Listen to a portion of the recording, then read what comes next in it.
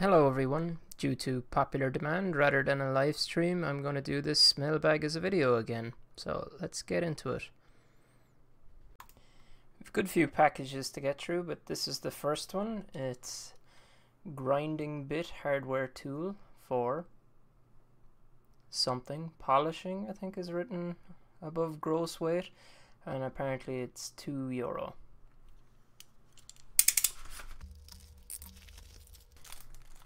So what was in this package is a glass cutter. Um, I plan to make an infinity mirror at some stage and this would be handy for cutting the mirror down to, to size. So kind of useful. Next on this list is help solder paste and a value of $8. It's a pretty descriptive name.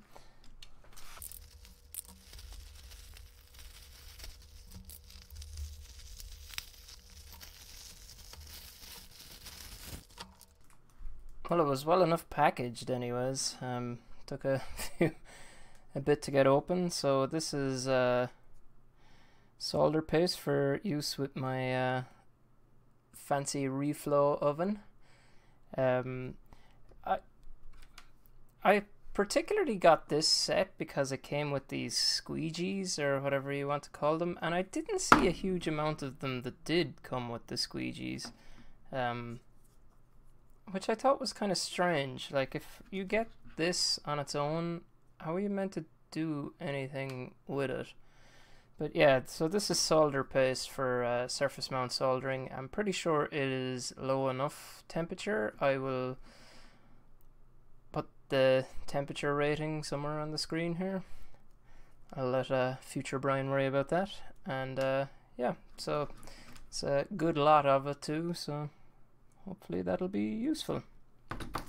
And actually there's uh, three nozzles, or four because one was stuck here as well. They came with that kit as well, so handy enough. Next one we have has a description of plastic sheet and a value of 2 euro.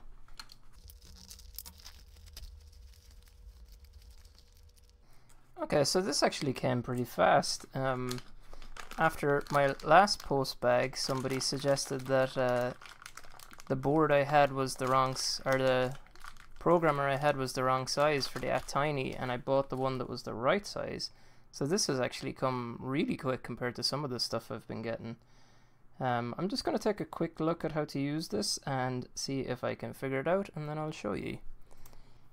Okay, yeah, so this makes way more sense than the last one I had, and I couldn't figure out how to use so what you do is it's spring loaded. When you press down the springs, these pins expand up and out. And then you can place your ATtiny in there. And then when you let go of the spring, it clamps down. And also, which is a big advantage over the last one, is it is the correct dip package to fit inside my programmer. So I should now be ready to put this shield on uh, on my Uno or Mega board and program some SMD ATtinys. So I'll link to the video up here about building this programmer. And uh, yeah, so this is a pretty nice looking board now, or at least uh, much better than the one that was too small for it. Okay, cool. Next on the list is this EL Products of 421.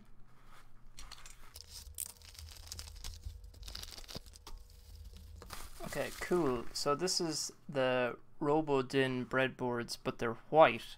So if you watch my videos or streams, you know that I'm a big fan of the RoboDyn breadboards that are uh, see-through. Have one here.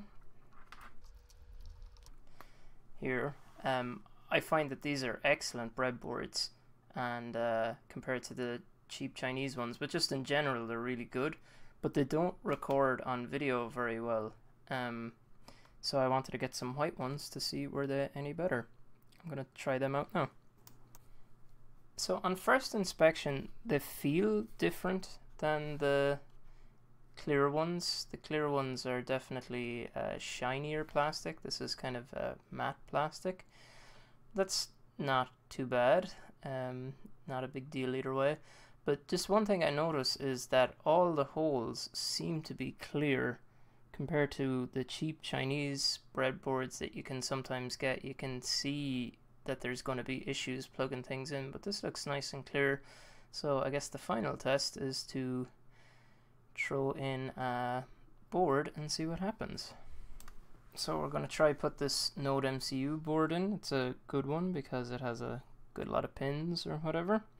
So it is a bit curved, I must say that. Like you can, I think you can even see that there, that it's very curved in fact, but uh, hmm, weird.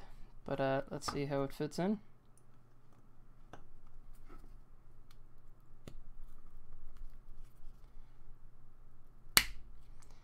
So it fit in okay. I didn't have the same kind of things I'd have with a really cheap Chinese breadboard, but it didn't go in as well as on the clear ones. But an improvement, but I'm not sure if it's worth the price difference. If you're not recording anything, I definitely recommend getting the clear ones over these. So that's a bit of a pity, but anyways. Next is not one from China, it's from the UK. Um, I got this off eBay, and I also noticed that my marker wasn't taking out the address very well. I think I saw that in an earlier one too. I'll hopefully edit it out if it's visible. Um, so I just had to do some scratching, but uh, let's see what's in here.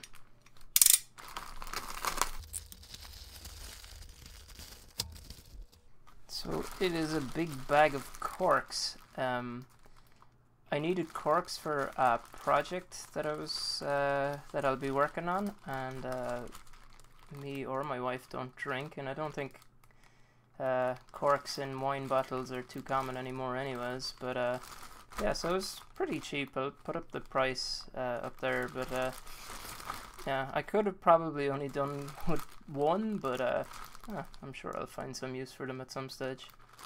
Okay, cool. Next is a package described as LED strip by 2 and has a value of $14.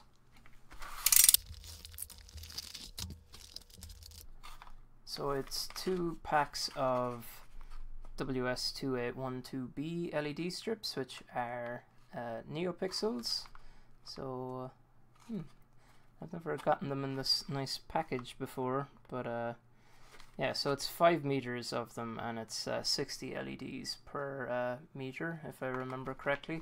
So yeah, I'll be using these in an upcoming project, so look out for them. Next up is one that's described as two shield modules and has a value of 2 cent.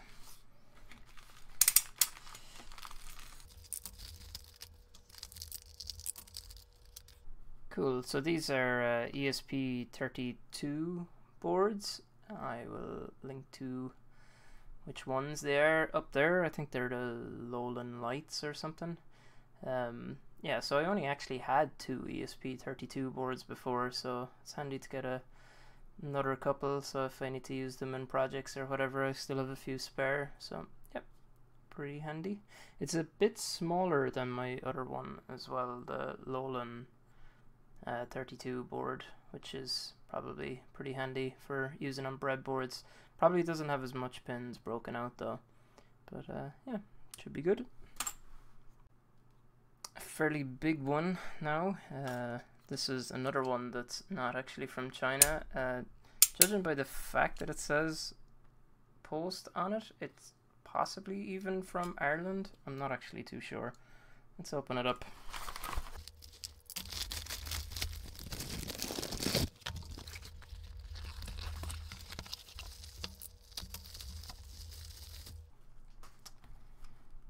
So it is a camera from an Xbox 360. And why do I want a camera from an Xbox 360? Well, it's got a really long lead on it. It can be used as a webcam. It's not a great webcam, but it's okay. Um, I'm not sure what its max resolution is, 720. You can adjust the focus using uh, manually here. Um, and that it was two dollar or two euro delivered from uh, CEX, uh, which is a UK company, or it all also operates in Ireland as well, that sells secondhand games and DVDs and stuff. But uh, two euro delivered is pretty good. It's cheaper than I can buy the ribbon cable for a Raspberry Pi camera. Um, so I plan to build a plant monitoring uh, setup with this, and um, yeah, I actually ordered two. I got a dispatch for the other one yesterday, so that should probably be arriving tomorrow. But um, yeah, for two euro delivered, I don't think you can uh, go too far wrong. And the last one is another one from the UK. Um, so this is a phone screen cover for a phone I don't even have. Um, no, the reason I have it is because I'll put a picture up on screen here. Um, I was prototyping out that Raspberry Pi project I was literally just talking about, and there was a reflection on the glass that um, that the plants were in, and somebody suggested that I should use a polarized uh, lens and I'd be able to see through it. And then they further recommended that I could just use a polarized screen cover. So I guess I'll probably be cutting out some of this to go on top of that and that should reduce the reflection in the plastic cover of the plant. So yeah, hopefully that'll work out and uh, you'll see it on an upcoming video. I do have one more package and I've had it here for a few weeks now at this stage. Um, and it was actually sent to me by a viewer of the channel. But um, there seems to be so much stuff in here that uh, I think I'm going to save this for its own post bag. So uh, check out for that, I think next week I'd say. Okay, that's all I have time for. Um, hopefully you liked this video and uh, I'll see you next time. Bye bye.